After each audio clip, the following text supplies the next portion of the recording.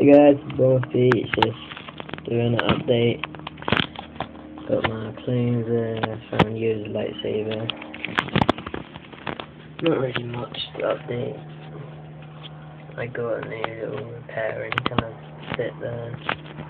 And over there I've got a stretcher and a health box with the supply guy. Nothing else really. But I have got some new sets today I'll get to in a second.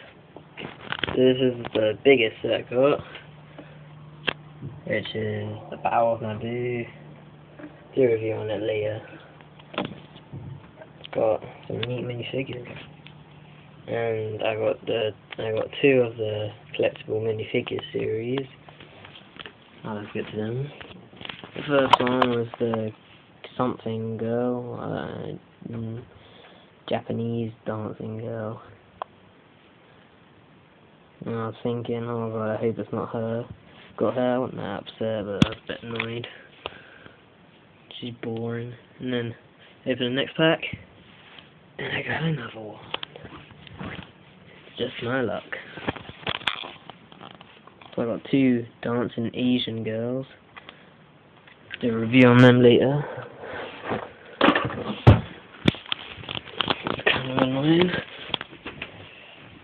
So, uh, yeah.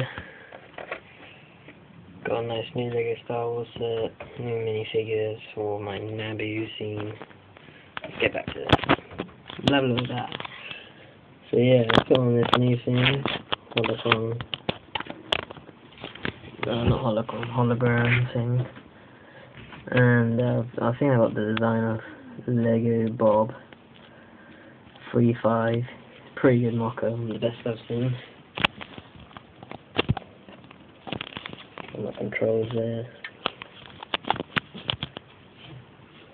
I'm going to London uh, on Sunday night tomorrow. Uh, tomorrow night. For a week. I won't be doing review yet.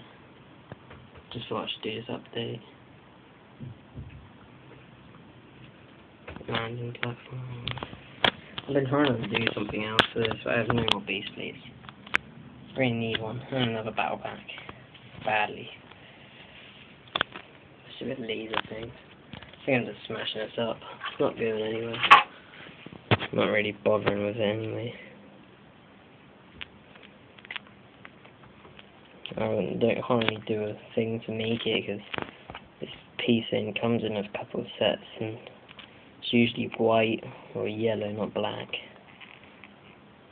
So mostly you probably won't be able to make it, especially with these pieces here. Thanks for watching, and goodbye.